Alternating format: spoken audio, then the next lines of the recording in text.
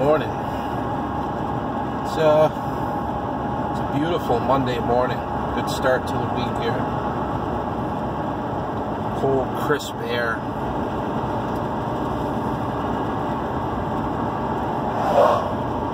The leaf peepers are everywhere. I'm looking at the leaves changing.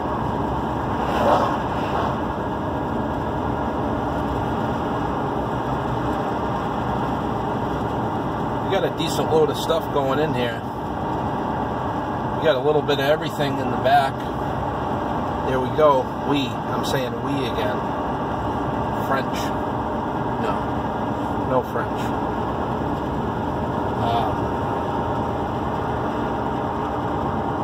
we got aluminum, copper, batteries, radiators, brass. 97 Subaru Outback.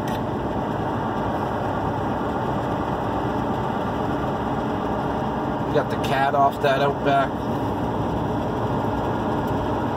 Should be a pretty good day.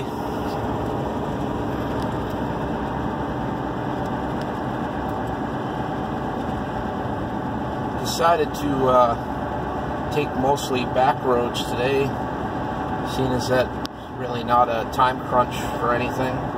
Um, a little longer of a ride, but it's one um, it's one route that I take sometimes.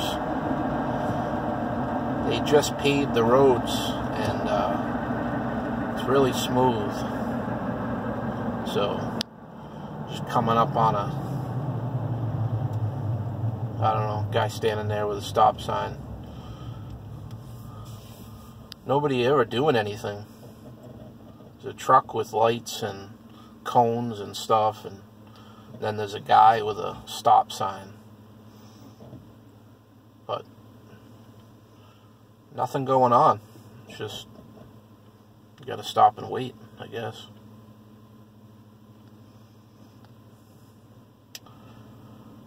So this guy that I bring the cars to, as I mentioned before, he's got a scale now and uh, he also has a small scale where he buys all, you know, the other stuff. And uh, he claims that, well, I seen his price sheet, and he's paying like way more.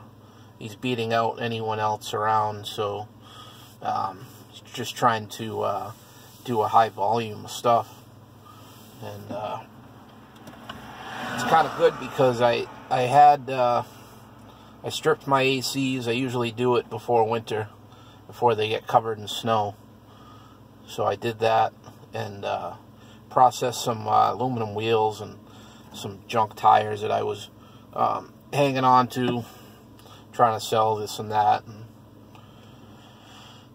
he's paying good money for uh, clean aluminum wheels, so uh, went ahead and processed those and some other aluminum and stuff that I had gathered in my wire barrel as I cut off all the cords from all the appliances and stuff that I scrap. And um, so I was getting a load together to um, bring down to try out him as far as uh, you know. I haven't sold him stuff like that yet, but that other yard I go to, which is closer, their their prices just suck, but you know, they're the closest ones and the only one around for a while. So uh, most guys don't want to take that ride down that far and, you know, get get a couple more bucks. So uh,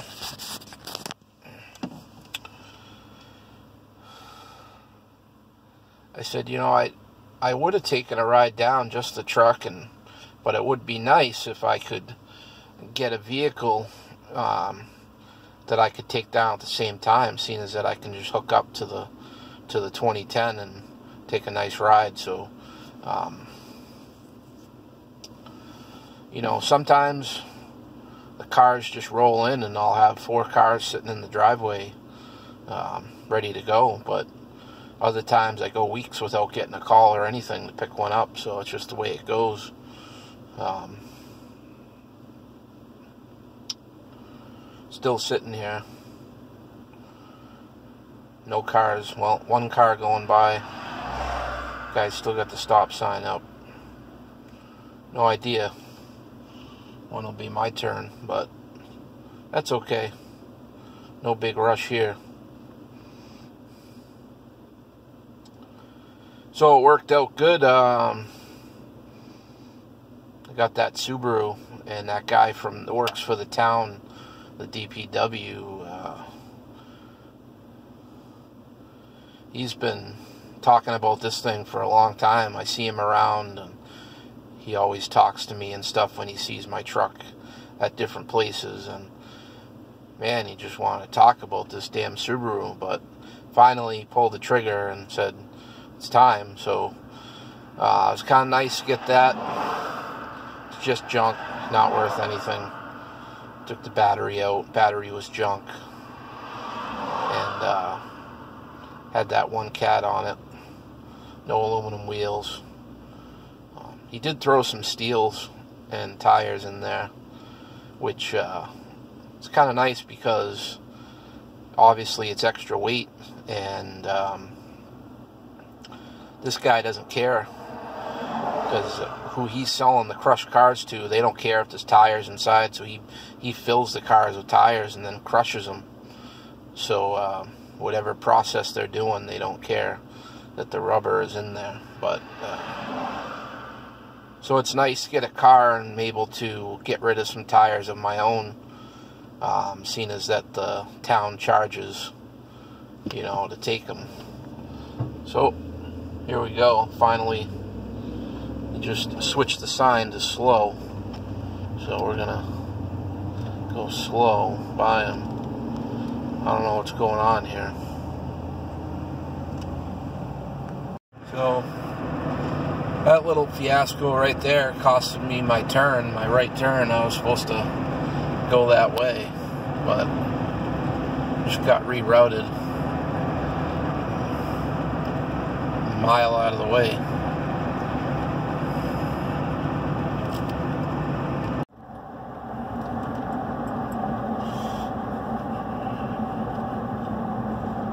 No McDonald's this morning. No Dunkin' Donuts this morning. Nothing. Got money tied up in two cars. Seen that uh, 2011 Lincoln I got.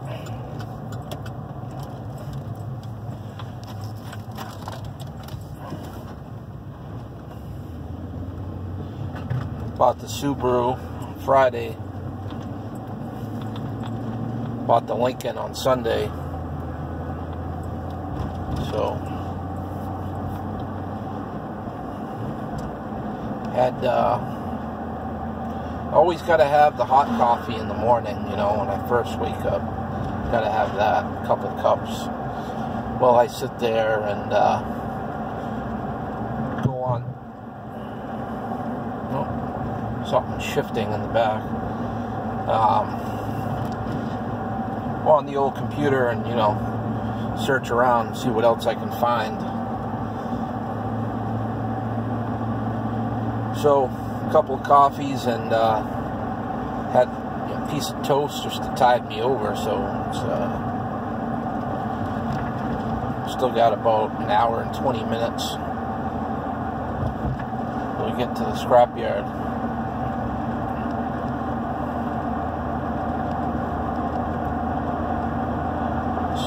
Time, uh, hopefully, we make some, uh, some good money. And then we can celebrate.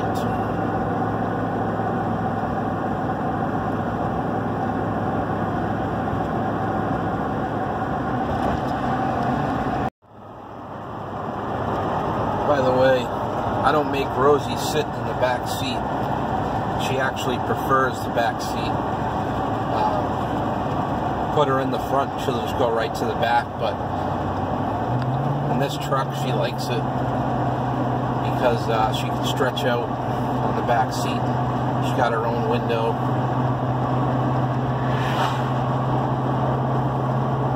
A little chilly today. Got her blanket. she only looks out the window when we go through, you know, uh, towns and stuff where there's stuff to look at, people. But she definitely enjoys the rides more in her old age than before. She used to used to not really care about riding in the trucks. Really didn't want to. Didn't seem like she enjoyed it, but these days, I don't know. She knows when I'm leaving. She tells me she wants to go. So.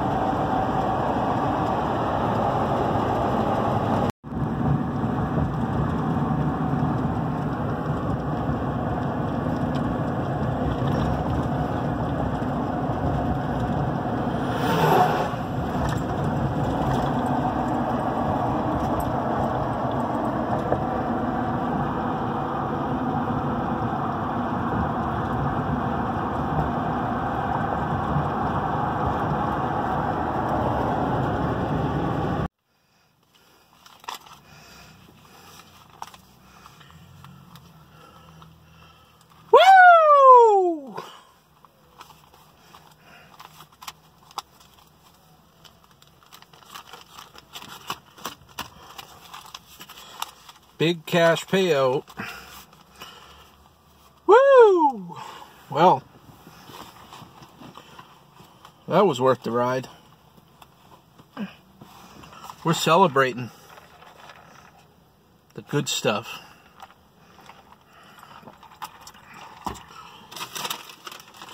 You know, I like Wendy's, but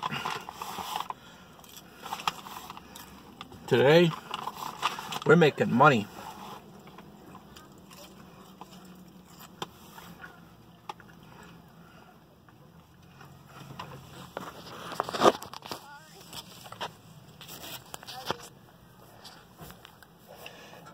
Order, you order fries regular little cup and then they they just pour another huge container right over top after, right in the bag. Look at this. Oh stop it. Can't even see. See that cup down there? That's what the fries come in. Look at this. Hmm, funny. Beeping horns is funny. Uh-huh.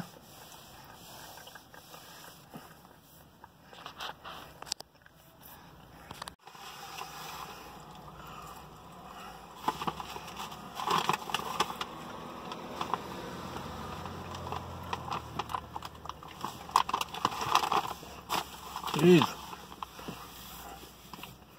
Take them slow.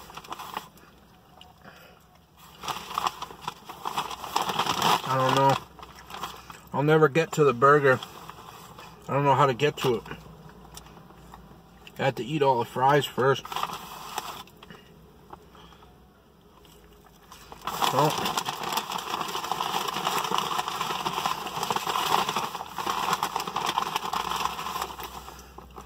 fortunately, I can't use any of that footage from the uh, scrapyard, which, I mean, really not much to see anyway, but there's, um, there's like a couple, like a guy and a lady that, you know, they're like husband and wife and they work in the little building doing all the, the small scale stuff, you know, and, uh, the guy's very polite.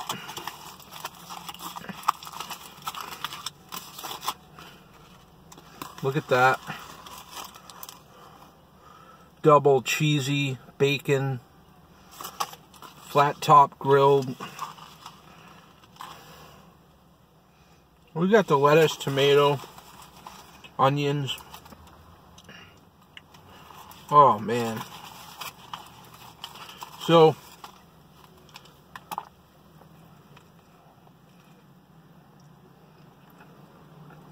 Wow.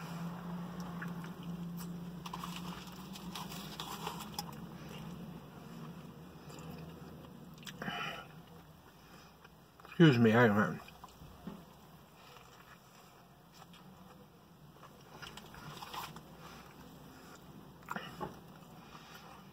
So the guy is very polite. Same with the lady. He got all this stuff out of my truck. Of course, I weighed the car in first. They were pretty impressed with that little Subaru weighed. How much I stuffed in it. But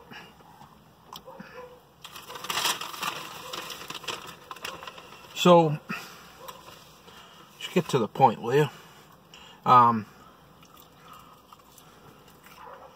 the guy did all my stuff, weighed everything, brought the slip in, you know, to the office, and when I went up to the little booth to the office to get paid, just as I was stepping up there, that same guy started getting into a fight with one of the other guys that worked there. And actually, it's an old guy that has worked there since the beginning. And in the beginning, I actually had words with him. He's very grumpy, but after they set him straight, he was nice to me after that. So, they start yelling at each other. I mean, going at it. The guy comes in, tells his wife that's working, we're out of here. We quit. Find someone new. We're gone.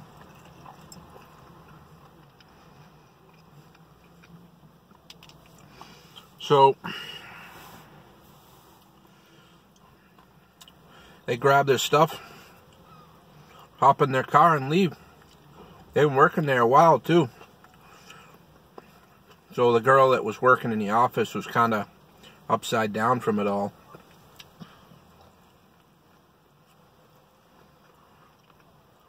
They actually um, barely had enough cash to pay me out. So His prices are very good. The car itself, I did not make a, a whole lot on because it only had that one cat, and that wasn't really uh, a great one. A lot of dogs barking. Rosie's not barking. She's looking though.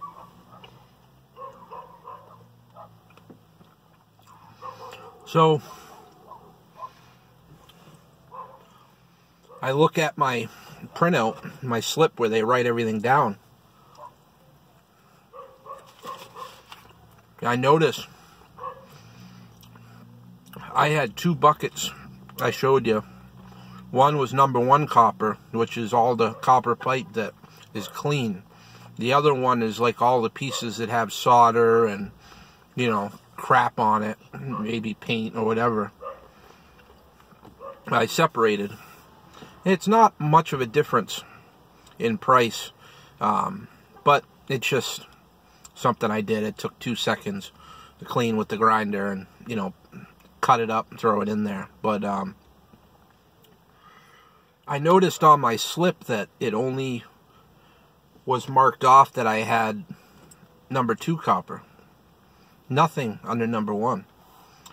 So then I started looking at everything else to make sure it was okay because now so I said to the girl, I said, hey, I hate to do it to you. I said, but I know those people just quit, but I had this. It's not on there. So we went into the building, me and her, and all my stuff was still on the scale because they just up and left. They hadn't cleaned anything up or put anything away where it went. So she said, well, she didn't even know what the difference was. She didn't even know about really any of that stuff. So she said, Well, I'll have to take everything off.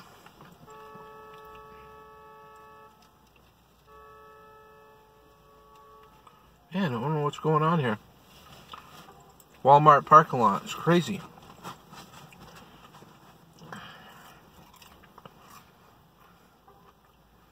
So I gave her a hand. We took everything off the scale threw it to the side, put my bucket of number one on there, and weighed that. It was another 40 bucks. So it does, you know, it did make a difference. 40 bucks, I mean, that basically paid for fuel.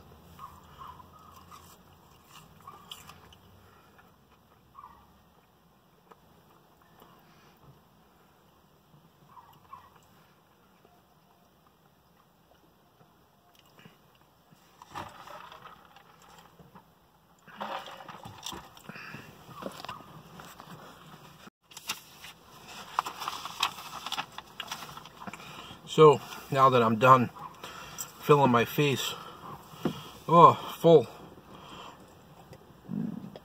I didn't eat all those fries, but Rosie's still working on them.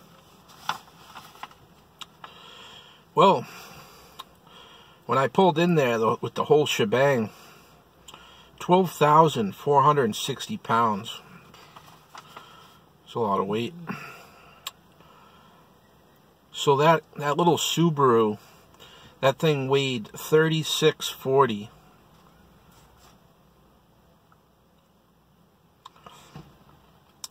Pretty impressive for a small car like that. Um, so that brought 245.70 just for the, the scrap weight of the car. And over here we got 12 pounds of number one copper. That clean stuff that they left out it was uh, 39 3906 for that. 36 pounds of number two copper, all the dirty stuff. So that was $109. So I guess, yeah, well, I had more number two than number one, of course, but uh, the difference is only 330 a pound for number one and 305 for number two. So you make the decision whether it's worth it or not. It's not a whole lot, but I guess if you had more, it would be. We had a little bit of brass, 18 pounds, $2 a pound, 36 bucks, just a small little tiny bucket of brass, hardly anything few of those little fittings off the water heaters and stuff. He got me for a pound of dirty brass. I don't know, something he didn't like there that I didn't clean. 65 cents. Uh, that barrel of uh, wire, that's all I do is uh, if I get any extension cords or, you know, all the cords off the appliances, I just cut them off, throw them in. 56 pounds at a dollar a pound was $56. Um, so that's not bad. It's just a, you know, a trash barrel. It just sits there, and I just every time I get something, throw it in. So it's worth it. Uh, they called something aluminum extrusions, 41 pounds, 20 bucks. Probably some of that aluminum in the barrels, I don't know. Um, aluminum radiators, I cleaned them. It's a big one and a skinnier one, 98 pounds, 34 bucks. That's pretty good. That would have been like a fraction of that if I didn't clean the ends off. Took two seconds with a sawzall, just cut the plastic tanks off. We got uh, 71 pounds of copper aluminum rads, which was all those ACs. 89 bucks. $1.25 a pound. Oh, and uh, the aluminum was uh, 50 cents a pound. I hate aluminum. It's a, it takes a lot to, you know, I don't usually do much of that, but we had uh, nine aluminum wheels clean. They're supposed to pay by the pound. It's supposed to be 70 cents a pound. They paid me $12 a wheel. I don't know what's up with that, but probably worked out about the same. 108 bucks just for those nine wheels. I mean, usually, like, he pays with the tire on, he still pays 10 bucks per wheel. He doesn't care if the tire's on there. So, usually I don't even bother, but I did go to a friend's shop and uh, take some of those off because there were some older aluminum wheels that were really heavy, and I thought, well, he's paying per pound, so I might as well take them off, and then you got to cut the valve stem off to make it clean, any wheel weights that are on it, because those are made out of lead. So, uh, whatever. I mean, uh, gave me 12 bucks a wheel, you know, clean, so $2 more per wheel to do that. Um, I had three batteries, three car batteries, eight bucks a battery, 24 bucks, you know. I had 51 pounds of non-car batteries, which are those little lawnmower and, you know, uh, lawn tractor type, you know, motorcycle batteries, whatever, those little ones. 18 cents a pound. $9.18 for those, and I mean, that was nothing to just, uh, you know, throw in a, a milk crate and just let it sit there until I was ready. So, not too bad. Nice little payday. Uh,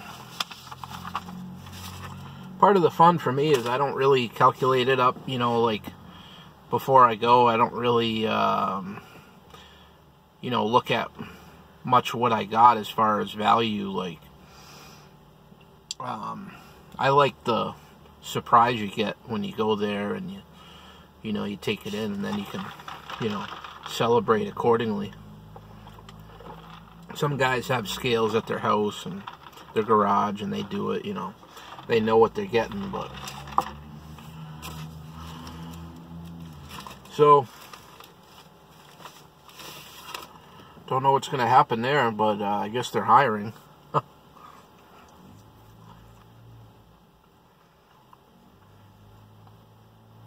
I'd probably work there, even part-time. He's always needs help, even just uh, drive the tow trucks and stuff, but too far away from me. Wake up too early.